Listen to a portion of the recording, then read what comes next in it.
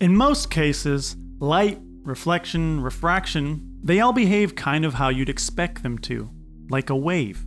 If I shine a laser off a mirror, you can expect it to reflect somewhere else with the same angle of incidence. But there are also minor phenomena that traditionally you don't really think about that expose the craziness of light. Like, why does oil produce fantastic colors when spilled on water? Or why do we see these colors on the shiny side of a CD? oh boy, do I have news for you.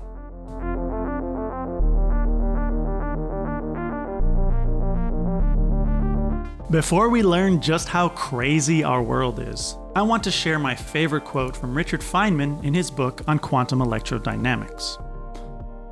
There is this possibility, after I tell you something, you just can't believe it. You can't accept it. You don't like it. A little screen comes down and you don't listen anymore.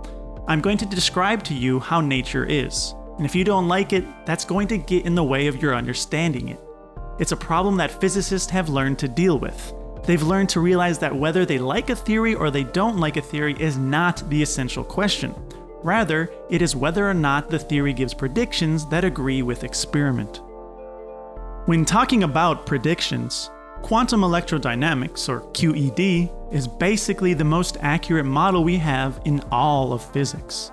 If you were to measure the circumference of the Earth with the accuracy of the most accurate prediction made in QED, you'd be able to accurately measure the Earth's circumference up to a width the fifth of a human hair. Mind blowingly accurate.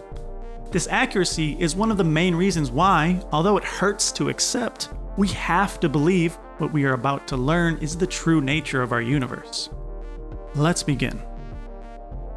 The first thing to accept with QED is that we can't say what will happen or why it will happen.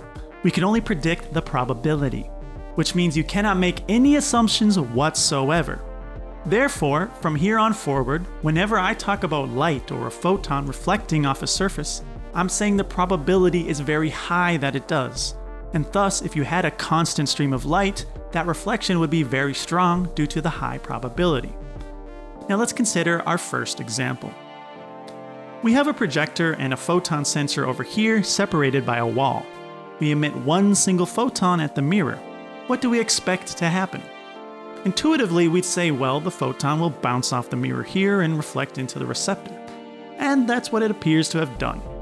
But what if I told you the light simultaneously reflected off every portion of the mirror, and then every single reflection interacted with themselves and added up to the highly probable result that the photon would reflect off this section?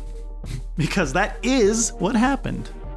A photon moves through space, constantly oscillating through its phases in a sinusoidal fashion. Each moment in time is a new phase until one full cycle completes, at which point it starts over. We can represent the current phase in time by a simple arrow that rotates at the same rate as the phase. As we imagine a photon traveling from our emitter to our receptor, it constantly cycles through its phases as time passes. This is represented as an arrow spinning. Now, if we imagine that the photon indeed reflects off every surface of the mirror, then reflecting from some points will take longer to reach the receptor than others. As a result, the phase of the photon as it reaches the receptor will be different depending on its journey. You can see that for locations that take the same amount of time, they arrive with the same phase. Each arrow represents a probability amplitude for each path the photon may take. The direction of the arrow represents the phase of light that reaches the detector, and the length the probability of it doing so. Each possible path has essentially the same probability, so all our arrows have the same length. At the end of their journey, they all add together. Waves can be added together quite easily. You just take the y value of each point on one wave and add it to the y value of the other. So in phase waves double in amplitude and inverse phased waves cancel each other out. The arrows that we use to represent phase can be added together too. So if two arrows of the same phase are added together, the probability of that event occurring increases. If they are inverted, then the probability is zero. What does this mean? This means if we add all the arrows of all the paths a photon could take to the receptor, we will get the final expected phase and probability of that event occurring. The length of this arrow represents the probability, and the direction it points the phase that interacts with the receptor. So if we find a section on the mirror with the same phase as this arrow, we can say this section has the highest probability of reflecting the photon. Let's explore this further. When we look at the arrows of places on the mirror far from the center, we see that they start spiraling because it takes an increasingly long time for the photon to travel out to these points. As a result, it cycles through its phases a lot more. This is where quantum mechanics begins to simplify itself. As for just about every phase out here, you can find another phase that will cancel it out. This is represented by our spiral here. As we look near the center of the mirror, very few of these arrows will find a complementary arrow to cancel themselves out. So the majority of the final arrow's amplitude is composed from the arrows at the center of the mirror. Or in other words, the most probable outcome is that the photon reflects off somewhere near the center here. We can see this a little better with a live version of this model. As we move the receptor around, we can see how the phases of the different sections of mirror change and that our final probability will always closely match the phases of the center of the mirror. The incongruity at some points has to do with the numbers of arrows and that it's no longer symmetrical, so some arrows don't get completely cancelled out and thus shift the phase. If we keep it symmetrical, then we can also see that when the angle of incidence is very small, the probability or the length of our final arrow also shrinks, meaning we have a weak reflection. This is something we've all seen while looking straight down into water. There's very little reflection.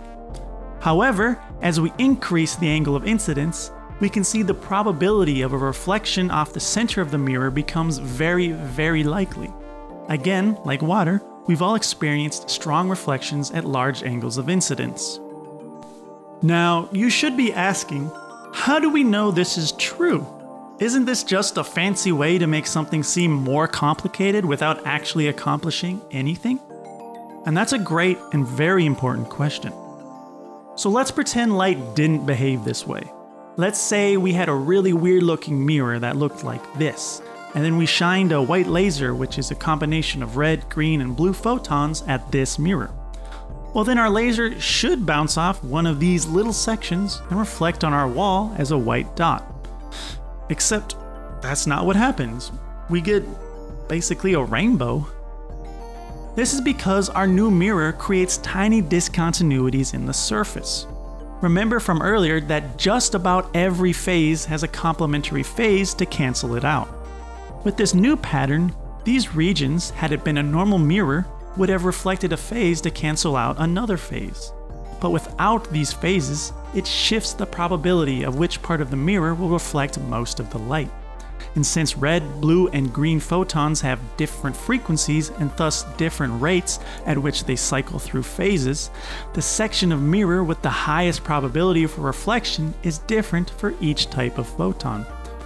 Thus, you create a separation of photons into a rainbow. This is called a diffraction grating, and it's why CDs create rainbows tiny little grooves etched into the surface.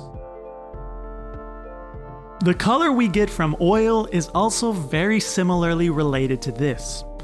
If we picture a cross section of an oil slick, we see two surfaces light could reflect off. It could reflect off the top of the oil, or it could reflect off the bottom. Or, if you're paying attention, it reflects off both at the same time. Now, strangely enough, how well it reflects depends on the thickness. Let's imagine the same kind of scenario as our mirror. The photon reflects off two different points, takes two different amounts of time, and thus converges with two different phases. We then add those phase arrows together. What we find is that at certain thicknesses, these two phases cancel out and light doesn't reflect at all while at another thickness, they can add together and then it reflects with the highest probability. Remember, this doesn't mean it will reflect, but it reflects best at that thickness. So just like with the diffraction grating, red, green, and blue light all have different rates of cycling through phases, so each have a specific thickness of oil that would best suit their reflection. When we look at an oil slick, Minuscule variations in the thickness cause some colors to reflect more strongly than others, thus giving us that rainbow look. Lastly, let's talk about what all this means. Feynman was a big fan of simplifying complex ideas. This is why he developed his concept of probability amplitude arrows and Feynman diagrams. Why do unnecessary math when a simple representation can adequately describe what is happening? When it comes to quantum mechanics, most situations don't require that level of computation or thinking.